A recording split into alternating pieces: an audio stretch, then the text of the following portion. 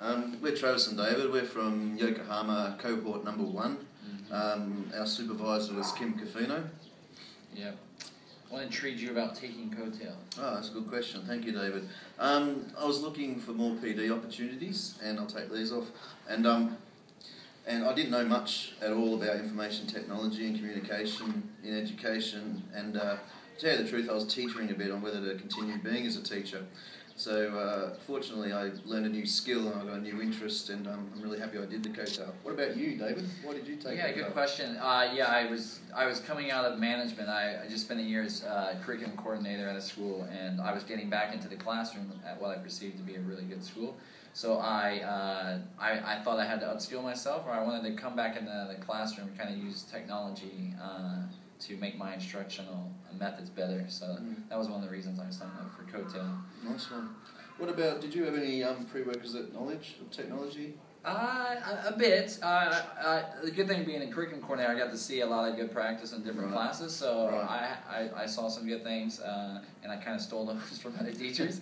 but uh, definitely, I think COETAIL really helped me to Yeah. um, uh, to to do a lot more with Mm. tech in my classrooms. Right. Um, so yeah, I think it was good Great. for that. What about you? Yeah. Um, look, I knew a bit about Google and I knew a bit about Apple products, but I didn't know them that well. I didn't know how to really enhance my teaching uh, using technology. Perhaps if we talk about the SAMR model, Yeah. I was using it at times as a substitute or just to augment what I was Yeah. doing rather than redefining. Yeah, yeah, that's a good point. Uh, how about the how important were the fifteen credits to you? Were they Um, important? Well, not really. Um, they were a sign of achievement, I guess. Um, I, I was interested in continuing on to do a, a master's, but I thought I'd rather do my master's in something a little bit more specific. I, I think in educational leadership. Mm. Um, but I, I guess it's a sign of achievement. It's a sign of um, being motivated to go through with something that took us a year and a half. Yeah. What about you? What Yeah, I think credits? actually the credits may help me out here with my Michigan teaching certificate because I, I have to every five years I have to take classes and uh, so I think when I go to renew my certificate, I think this uh, I need to renew it soon, That that's going to help because I uh, those fifteen credits are going to help me uh, when I go to renew it. So yeah, What about the um, assessments? The uh, there's five courses, and we had to do some sort of assessment at the end of each course. What did what, can you share some of your thoughts about them, David? Good question. Yeah, I thought I thought it was good in the sense that it made me maybe usually I had to create some sort of big project I was gonna do with my class and then uh, and and rock it out. So it, it was good in the sense that I know I had to come up with something to blog about to present. Um, so yeah, I thought the assessments were good. I thought they were good to be honest. Yeah. I thought at times a bit challenging because uh, due to my other roles and the focus of my school not always being uh, Mm. always on or you know permitting technology. So uh, I thought that was challenging at times, but Mm. yeah, I thought it was good in the sense that it made me upskill and, and, and man up, so to speak. Nice one. Nice Yeah. one. How about you? Yeah. Um, look, they were very manageable. Um, it wasn't they weren't really brain benders or anything like that. Um, I thought they were good good assessments. They were worthwhile.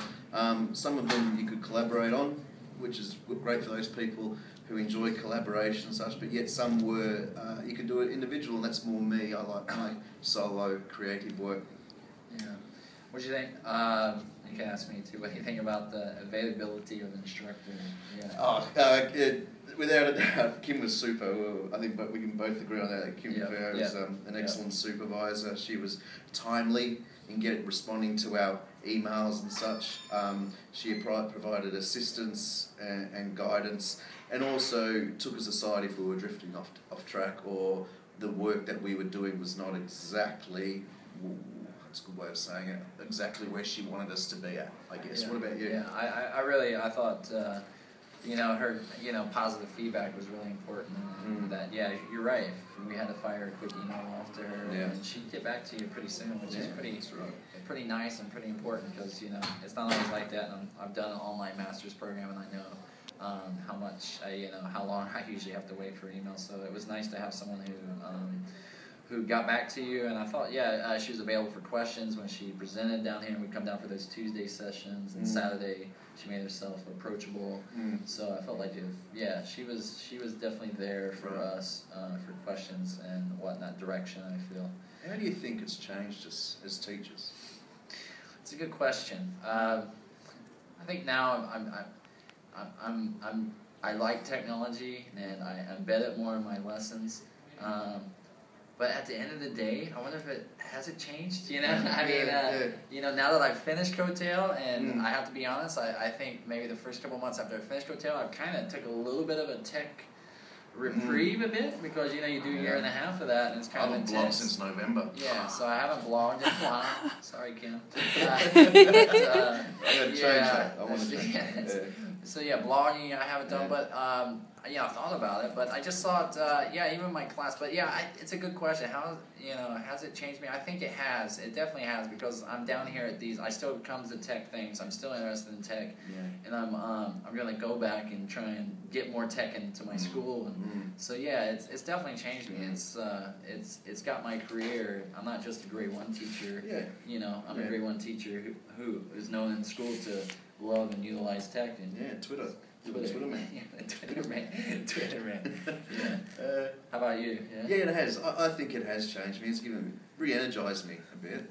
Um, uh, it's fabulous seeing uh, the students um, get get into it as well, and seeing their eyes when they create something with technology. It's just it's brilliant. Um, but I'm still the same person I was two years ago. I'm, I'm, I'm you know, I'm Travis, and I'll always be what I what I'll be. Um, I could blog more, um, but uh, I love Twitter. I think Twitter's Twitter's probably the greatest thing. I've forgotten Yeah. about Facebook a bit and just sticking with Twitter because I Yeah. learn I learn a hell of a lot more on Twitter than I ever would. And it's a good Facebook. micro blog. It's know? a fantastic microblog, Yeah, isn't so it? you can change ideal, Yeah, exchange at. Travis and Attis and at D Bulliot. Yeah, that's right. Yeah, I, I think we were going to talk to Dana on Twitter. Yeah, one Yeah. time over Christmas. I think so, Yeah, about yeah. We had a question about their book. The a book isn't on available iPhone. on the Japanese Yeah. iTunes. What's going Yeah. on with that, Dana? Yeah. I don't know. We gotta fix that. back to us. Did she get back to us? Yeah, yeah, Oh, sure. she- She, well, uh, she didn't get back to us, she at investigate. least saw us questioning on